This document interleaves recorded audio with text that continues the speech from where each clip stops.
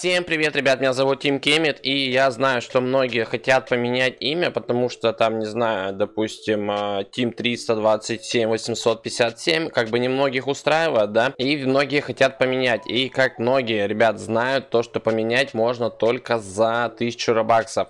Но есть определенный обход, ребят. Нажимаем настройки. Я тебе сегодня покажу, как это сделать. У нас появляется отображаемое имя и имя пользователя. Имя пользователя, если мы нажмем, то у нас, конечно, попросит 1000 робаксов. Но этого мы не будем делать. Нам это незачем. Мы с тобой а, поменяем отображаемое имя. Я бы написал Team Kimit, но Kimit не пропускает. Я не знаю почему как бы цензура Роблокса, да, она такая кимит, не-не-не-не-не, мы его не пустим, зачем он нам нужен? Реально не пропускает. А если поменять и, то пропускает, допустим. Я уже просто пробовал по-разному, но что-то похожее, только если так оставлять, а все остальное мне реально, ребят, не дает. Хоть единицу, хоть ставь, хоть что, он не дает. Не, можно, конечно, ставить кэджмент, вот это какой-то бот, да, но это непонятно, окей. Я ставлю так, наверное, пусть бот так, вообще без разницы, как бот на самом деле. Но как, вот теперь ты знаешь, как можно реально поменять. Ты можешь написать, не знаю, просто там Team даже можно оставить, да, без проблем.